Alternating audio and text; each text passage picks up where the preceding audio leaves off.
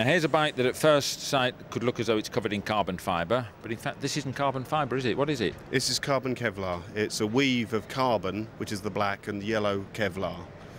And, and what's the big difference then? What's the advantage? I haven't seen it before. Is it brand new? It's not brand new, it's been around for a long time. It's not always seen. Quite often it's sprayed over on race bikes and etc. The Kevlar is a much stronger, tougher material than carbon. Carbon is very light and strong, but Kevlar is a, a grade above that. So a combination of the two, you get great strength with lightness. Yeah, so the lightness, is- I guess there's no real difference between the two in lightness. It's the strength thing, is it? No, to get to, to for comparable strength, you would need more carbon fibre than carbon Kevlar. Oh, would you? Yes. Yeah, right. And so are there any problems with it? I mean, why haven't people been using it more? It's difficult to get the right look. Some of these parts, the, these have not been designed for display. They've just been designed as a product.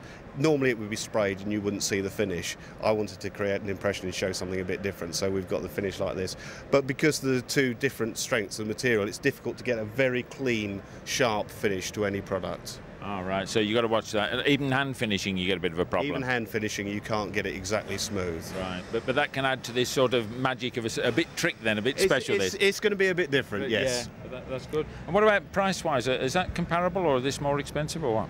Price wise, it varies immensely, and uh, where carbon and carbon Kevlar is concerned, you, you get what you pay for. It's expensive, but uh, I would like to think that mine is competitive as well. Yeah. And if you really want to be different, I mean, you've got to ride around with it looking like this. haven't you? Absolutely right. I would recommend this to everyone with a VTR or any other bike, bike that we do for. Okay, thanks a lot.